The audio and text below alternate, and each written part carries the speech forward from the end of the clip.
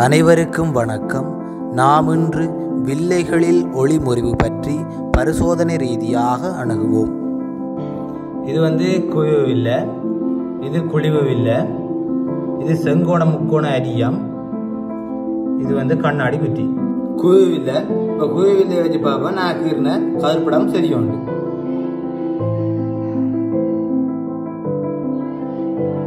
இப்போ பார்த்தீங்கன்னா தெரியும் சமாந்தரமாக வர ஒளிக்கதிர் குவியத்தில் குவிவடையுது. அப்போ நான் கீறின கதிர்படம் சரி. இப்போ என்னண்டு கது என்னண்டு அந்த ஒளிக்கதிர் போதனை பற்றி நான் விரிவாக பார்ப்போம்.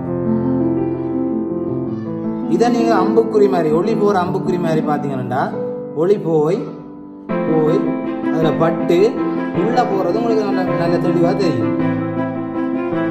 பட்டு உள்ள போறது தெளிவா தெரியும். இவ்வளத்தை அது குவிவடையும். அடுத்தது குழிவில்ல கதைப்படம் சரியோடு நாங்க பரிசோதனை செய்ய இதை பார்ப்போம்